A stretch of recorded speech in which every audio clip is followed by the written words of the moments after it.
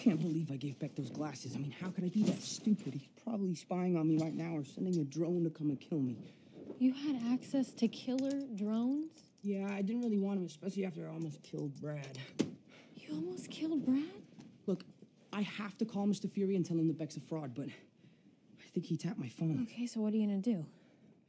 Uh, I need my suit, and I have to go to Berlin and talk to Mr. Fury in person.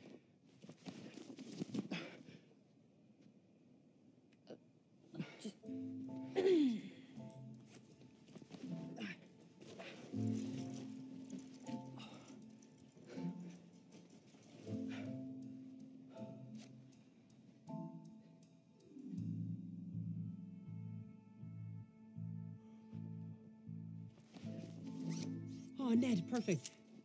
The costume looks great. Uh, for the costume party at the prince's castle. She knows. I told her. He didn't tell me. I figured it out. Oh, that's cool. Like a long time ago.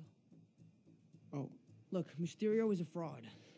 but but he saved me and Betty's lives. No, he's been faking the whole thing with illusion tech. Yeah, he's using these like hologram projectors. Whoa, that's crazy.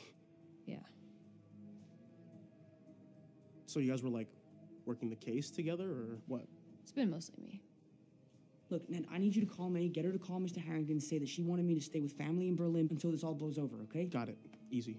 Wow, you guys lie with such ease. I gotta go. Wait, uh, wait, wait, wait, the projector. You're gonna need this. Don't tell anyone about this, okay? Anyone who knows is in danger.